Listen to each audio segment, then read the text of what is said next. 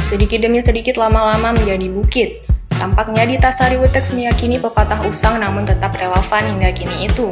Berawal dari keinginan hidup sehat, suaminya lalu berhenti merokok.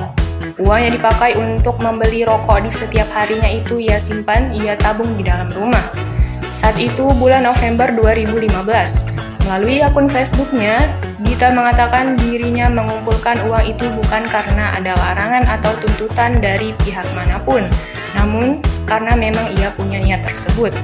Awalnya memang dia merasa tidak percaya suaminya bisa berhenti merokok secara total, namun ia tetap mendukung niat baik suaminya itu.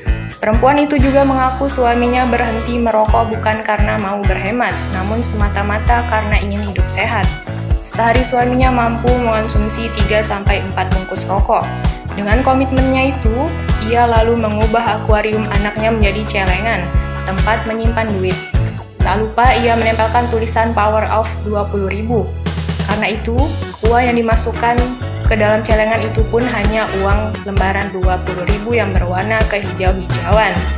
Karena niatnya yang menggebu-gebu itu, ia mengaku setiap melihat uang 20-an ribu langsung pengen memasukkan ke celengan. Dan selama satu setengah tahun sudah dia menabung dan hasilnya sungguh fantastis.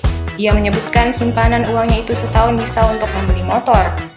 Dengan kesuksesannya itu, ia mengajak warganet untuk mencoba cara yang telah mereka lakukan.